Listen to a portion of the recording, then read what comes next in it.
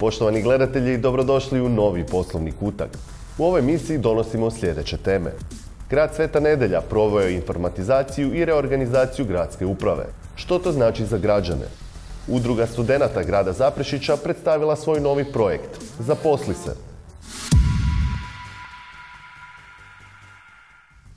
U gradskoj vijećnici grada Svete Nedelje gradonačelnik Dario Zurovec i zamjenici predstavili su organizacijske promjene unutar gradske uprave, koje će građanima omogućiti jednostavniji i brži pristup informacijama.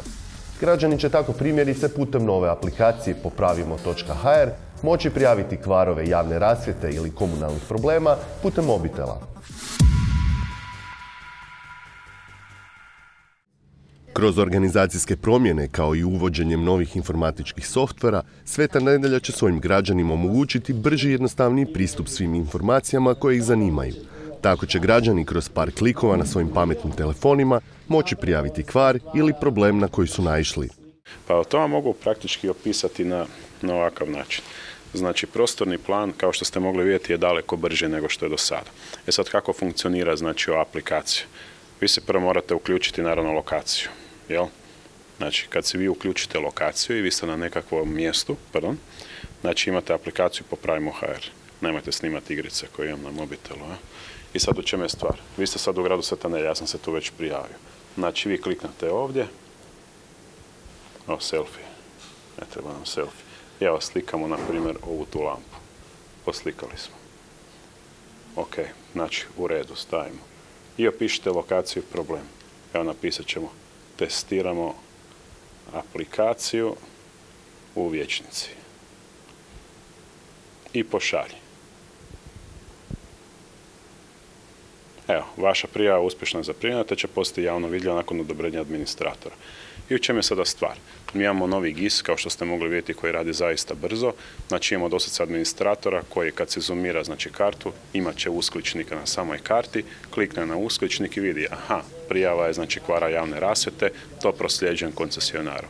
Komunalna prijava, prosljeđujem znači komunalnom redaru, znači tu piše opis, stavlja se određeni prioritet, možda ako nešto ide kroz redovno održanje, malo manji prioritet, nešto ima veći i na taj način ćemo biti efikasni. Vidi se točno kad je zaprimljeno, vidi se kod koga je, točno datum, sekunda, minuta i mislim da je to jedan način na koji praktički cijela Hrvatska bi trebala težiti, znači što većoj informatizaciji i naravno da kad već imamo pametne mobitele da ih i pametno iskoristimo. I aplikacija mora naglasiti da je besplatna. Kako bi se ubrzala obrada zahtjeva izdavanja različitih vrsta dozvola, ali i rasteretili zaposlenici gradske uprave, jedinstveni upravni odjel podijeljen je na tri nova odjela – mi smo se odlučili sa jedinstvenog upravnog odjela e, staviti znači na tri nova odjela. Jedan koji je vezan za financije računovodstvo, drugi je koji je vezan za opće pravne poslove i treći koji je vezan za EU projektu komunalna infrastruktura, urbanizam i ostalo. E, odlučili smo se najviše zbog toga što praktički e, mi bilježimo svakih deset godina rast otprilike za 3000 stanovnika. I jednostavno kad vi to prebacite sve na leđa jednog šefa, nije baš lako niti to sve odraditi ili odhendlat, pa onda na kraju smo se odlučili na tri odjela. Lakše znači kroz tri niti praktički u paraleli rješavati neke stvari, nego da se praktički sve prebaci znači na jednog šefa i na jednu osobu. Na taj način smo već sada primijetili da ima određenih ubrzanja, pogotovo vezano za određenu dokumentaciju, da ne kažem što se tiče same građevine mogao bi to čak i usporediti. Znači 2017. godine mi smo imali 14 gradilišta, ja mislim da su se tri ili četiri možda dovršila. 2018. od 80 gradilišta mi smo ih uspjeli privesti do kraja 60. Tako da se već tu vidio, vidio zaista drastičan pomak i mislim da će se i dalje to pojačati. Sa jednom upravom koju mogu reći da radi zaista vrijedno, znači od 20 ljudi već vidimo da određeni ljudi ostaju ponekad i do 4 ujutro i ne možete ih više opterećivati. Naravno nije niti toliko humano. Pa onda jednostavno hoćemo ipak i rasteretiti jer bolje da ljudi rade kontinuirano, da iskoriste tih svojih 8 sati, a ne da se iscrpe i na koncu je efekt nikakav. Građani će također moći rezervirati točan termin za razgovor s gradonačelnikom kako ne bi više trebali trošiti svoje vrijeme čekajući u redu. Pa imao sam puno e, pitanja baš što se tiče toga kad se može do mene doći, pa praktički ponekad ponedjeljkom je veća gužva, a ponekad je manja. E sad kad je veća gužva, ljudi znaju doći po dva, tri navrata i onda čekaju, izgube strpljenje, možda se moraju vratiti na posao ili imaju drugih obaveza, pa jednostavno nemaju, ajmo reći, vremena znači da toliko dugo borave i da praktički kampiraju pred vratima gradonačelnika. Na ovaj način oni kroz tjedan se rezerviraju znači u ponedjeljak svoj termin, vide znači što je slobodno, upišu u tablicu i onda znaju, aha, ja sam, kako bih rekao, naručen u 2.40, ja dolazim u 2.40, i praktički će se tu ipak smanjiti gužve, a ljudi će naravno optimalno iskoristiti vrijeme, a mogu reći da će i nama biti tu isto jednostavnije, znači obraditi bilo kakav zahtjev. Ovom reorganizacijom grad Sveta Nedelja ubrzao je mnoge administrativne procese, te se na taj način približio standardu zapadnoeuropskih zemalja kojim Hrvatska stremi.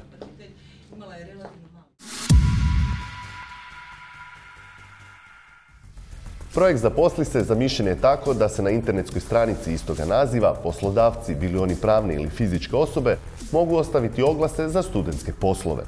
Glavni cilj projekta je olakšati studentima pronalazak posla na zaprešičkom području, kako ne bi morali gubiti puno vremena i novca na putovanje u Zagreb i okolicu.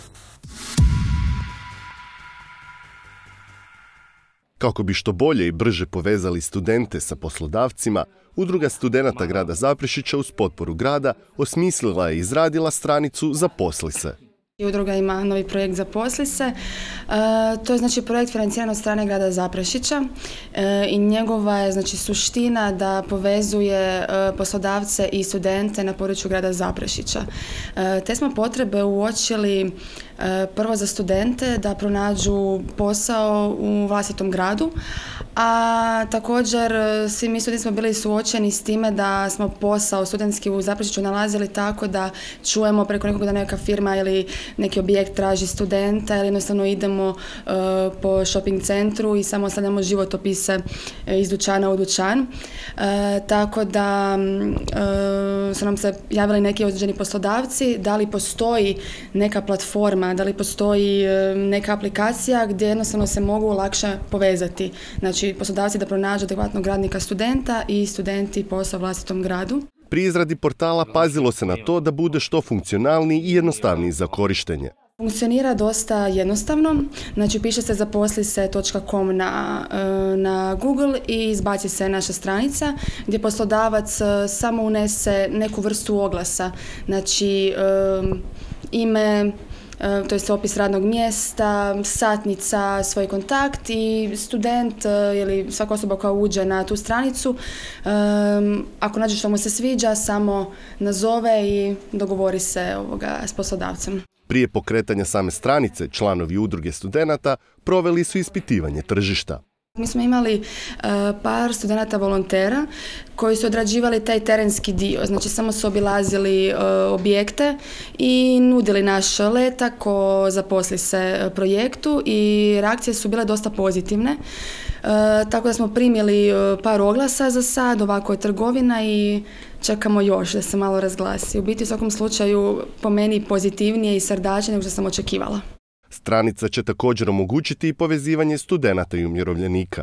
Pa studenti će dobiti jednostavno lakši pronalazak posla u vlastitom gradu, da ne moraju ići do Zagreba ili dalje. E, jednostavno olakšana po meni komunikacija i pronalazak e, toga svega. Poslodavci olakšano pronalaženje studenta. Također pokušavamo, e, kako to sada prvo u početku u nekom povoju, pokušavamo još i ostvariti suradnju između studenata i umirovljenika jer smo u suradnji sa umirovljenicima i razgovoru vidjeli da ima dosta onih koji su u nekoj tako malo veće dobi, e, da možda nemaju e, neke osobe koje mogu im pomoći ovako doma, na primjer e, pokositi travu, očistiti snijeg s prilaza, kupiti lijekove, pročitati pse, ne znam, opeglat košulje ili napraviti generalku kuće, tako da ćemo i to, to nudimo isto u svojim oglasima, da umirovljenici jednostavno ponude što im treba za napraviti i studenti